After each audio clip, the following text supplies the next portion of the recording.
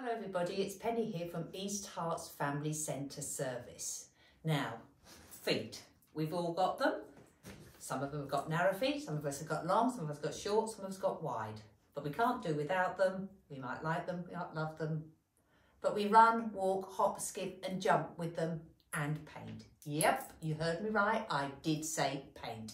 We're going to look at painting and making footprints today.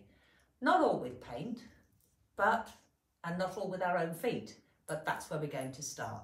So feet, paint, paper, soapy water and a towel. As we're in a nice warm weather now, taking it outside a great thing to do. So you can either put your paint, your feet into a tray with paint on, or if you prefer, you can paint your feet with a paintbrush. It's quite tickly. And do that. What does it feel like when it goes on? What does it feel like when you put your foot into the paint? That's something nice to talk about with your children. Is it hot? Is it cold? It's slippery, so you do need to be mindful if you've got a big piece of paper outside um, that your child doesn't slip when they put it into the into the dish. And then you can press down really hard and get your footprint. As I said, talk about what it feels like when it goes on. Is it warm? Is it cold? Can you feel it in between your toes? And then you can look at the shape of your foot. So you can start identifying. So you've got your you've got your toes. You've got your instep, you've got your heel. This bit of your foot is quite sensory. And it doesn't mean you have to like it. Some children like it, might feel very odd. But have a go. Make patterns with your feet. You can have big feet. Maybe you could have your child's feet. Make a pattern as you go along. Maybe you can have a go when you're printing, you can just print your toes. Maybe see if you can balance and just print your heels. Quite tricky this one. Print your instep. So you stand on the side of your foot and get that. Look at the different shapes that there are.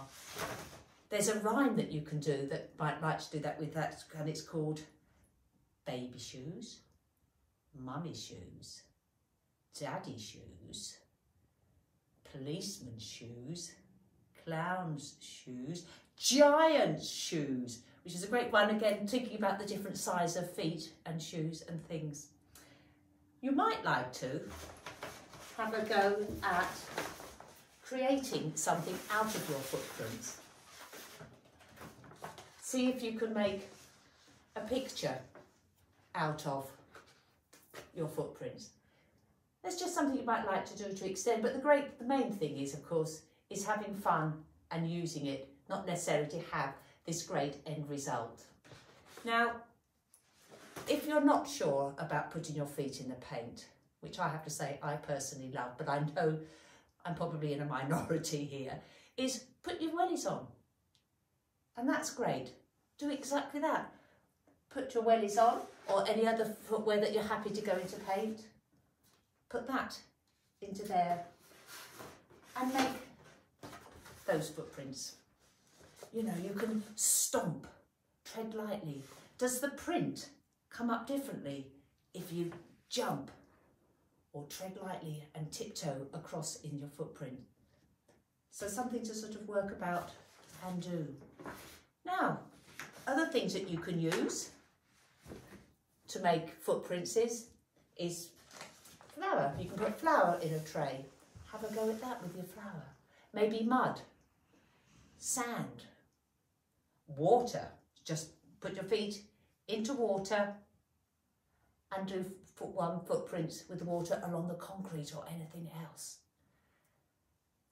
So if using your feet or your child's feet, you're not quite comfortable with it, and that is absolutely fine.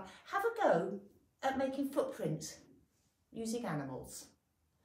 See if you can find plastic animals you've got at home.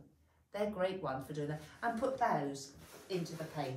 Dinosaurs are brilliant for doing this. So putting those into your paint, printing down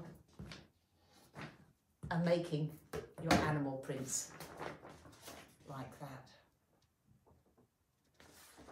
And again, see if you can make those animal prints with the paint, the water, the mud, the sand, Play-Doh as well as a great one. Look at the patterns they're made. When you're out and about, have a look and see if there's any animal or bird prints on the ground. See if you can identify them. And of course, always make sure you've got your nice bowl of soapy water so you can wash your feet